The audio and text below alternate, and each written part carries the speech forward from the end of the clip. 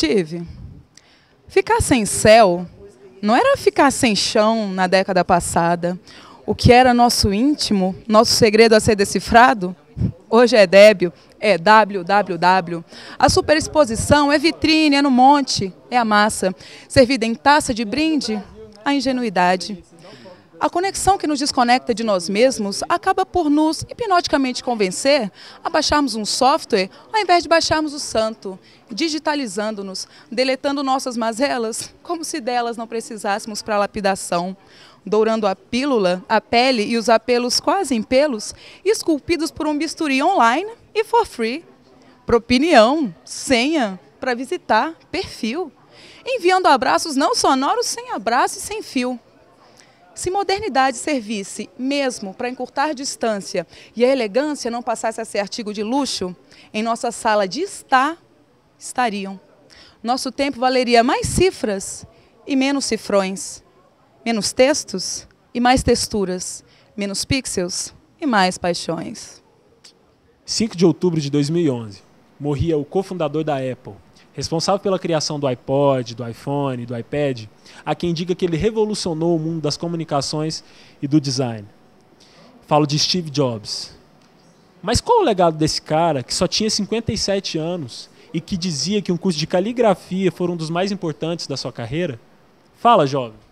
Para mim, o maior legado do Steve Jobs era a forma como ele trabalhava, a forma como ele levava a empresa dele. Ele realmente gostava do que ele fazia e ele não queria ser apenas bom, fazer por fazer, ele buscava a perfeição. O Steve Jobs mudou os parâmetros e isso fez com que a, é, é, a tecnologia viesse mais ao nosso favor do que como muitos achavam antigamente contra, né, como um método, de, um modo de afastar as pessoas e não veio a favor, veio favorecer é, é com que tudo concilie assim para a informação, para o contato, a divulgação, etc. O primeiro contato com o computador foi em 95, assim, então eu tive uma parte da minha infância sem esse contato.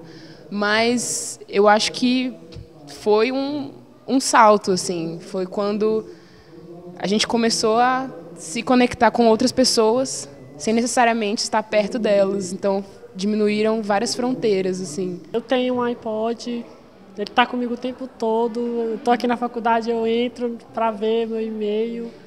E eu acostumei tanto que às vezes a bateria acaba e eu fico pirado para carregar, porque senão eu não vou ter como me comunicar e falar, tô aqui na FE, venham para cá. Eu acho que ele trouxe mais praticidade para a vida das pessoas.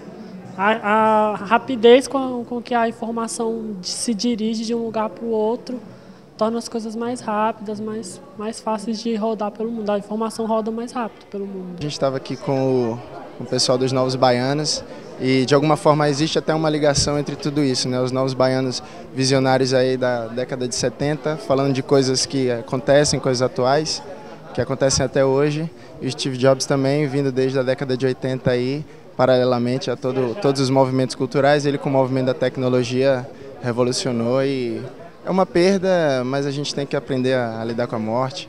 E é isso, ele fez o que tinha de fazer, obrigado a ele e aos novos baianos também.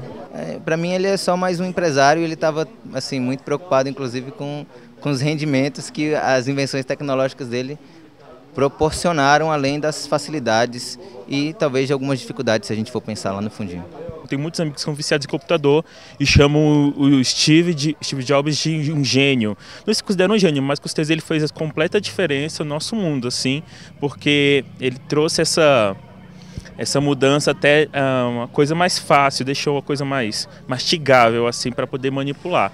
E, e nós estamos usando, usufruindo disso sem saber que na verdade ele que fez toda essa modificação. Ele realmente saiu do óbvio e foi além então, é, o legado realmente é importante, porque quem é que vai fazer mais esses eventos para surpreender? As apresentações deles também, tipo, para apresentar um produto, não era só uma apresentação de um produto, era um evento. Então, então todo mundo esperava alguma coisa, uma expectativa, a expectativa era grande. Igual o lançamento do, do Mac Air. Ele realmente tirou o, o computador, o notebook do envelope. Isso foi surpreendente. Tipo, teve aquele, aquele momento. Querendo ou não, ele era a mente de tipo muitas das inovações tecnológicas que aconteceu, tipo essa parte de computação móvel, de tipo smartphone, iPad, iPhone, coisas assim.